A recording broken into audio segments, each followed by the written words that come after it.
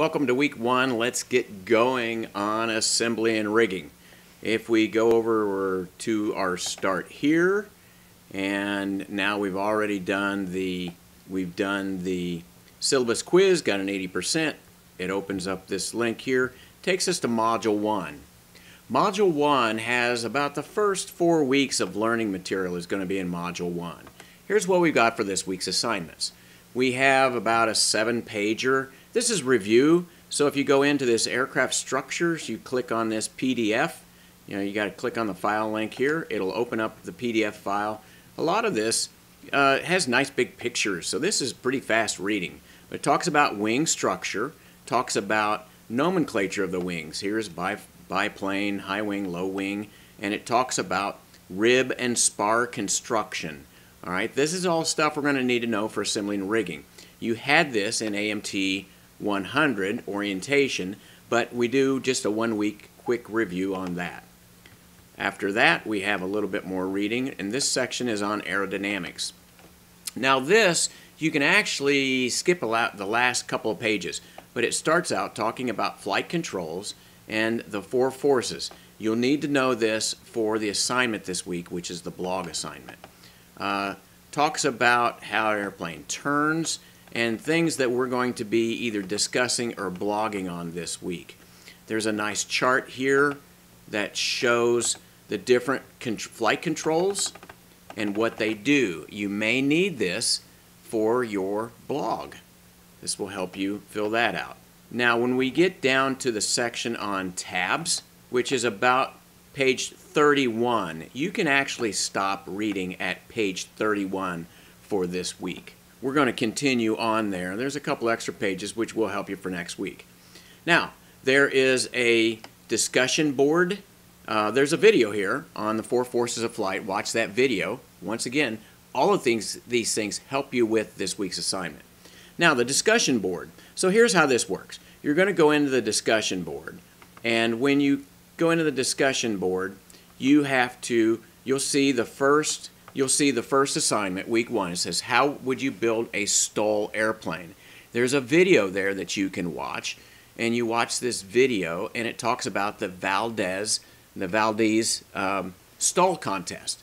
So the question is, how would you, if you were building an airplane or modifying an airplane, how would you build or modify the airfoils to make this thing win the contest? Here's a hint you want a low stall speed. You want the slowest stall speed that you can get. That's just a hint. So anyway, that's going to be a little research project for you. You have to write your answer to this before you can see other people's answers. Once you write your answer, it's going to be a minimum of 150 words. That's like four sentences. Just give me four sentences, guys. Um, after you write a, 150 words and submit it, then you have to read two other students and comment on it. Hey, I think that's a great idea. Or, hey, did you think about uh, maybe doing this with the flaps or, or gap seals or something like that? And you have to comment on two other people's posts. All right, be nice. Let's. Uh, uh, we're a community here, so let's uh, be good citizens. So anyway, that's how you do the discussion board. Actually, the discussion boards will be a, a lot more interesting than what we were doing last semester. Just go with it. I think you'll enjoy it. I really enjoy it. The grading on this is you're grade for, graded for participation. I don't care what you say. You're allowed to make mistakes. You're allowed to cite some opinions. If you cite your opinion on something, you need to back it up with something from the book or something you read on the internet or something like that. But that is the discussion board, and you need to have the discussion board done by Sunday. You need to have your first post done by noon on Sunday, and then you need to have your comments on other posts done by midnight on Sunday night. And you are penalized for being late on this because because it's a discussion. It doesn't do any good for you to go into a discussion room when everybody else is walking out, right? So you've got to stay up on that. Let's go back. So then there's a blog assignment. If you click on the blog assignment, it'll take you to the blog section and it is on aerodynamic forces. So here is the assignment for that. You're going to find a graphic. You're going to go out to Bing Images or Google Images and find a graphic uh, that, that demonstrates the four forces of flight. And then you're going to write in this section two, number two, you're going to list the various flight controls, ailerons, rudders, whatever else there is, flaps. Um, in fact, it gives you here ailerons, rudders, flaps, uh, elevator. You're going to write a description of what that flight control does. And here I've given you an example. I'm not looking for, you don't have to write me paragraphs and paragraphs, but just write a concise description. And for example, here's one I wrote. The spoilers, which is one of the ones I did not give you, right? But the spoilers are on top of the wing and spoil the lift on the wings. Just tell me basically what it does. All right. Now you can give me more. I always like more, and I love pictures. If you put pictures in blogs, I love it because I'm I'm a picture guy. So let's go back.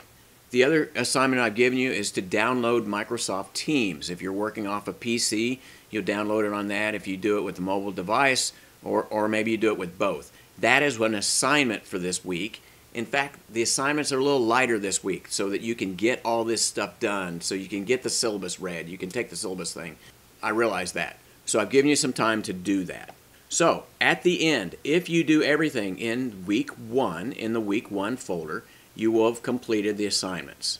A couple helpful hints. You can always go over here to the notifications section and you can see the things that are coming up due.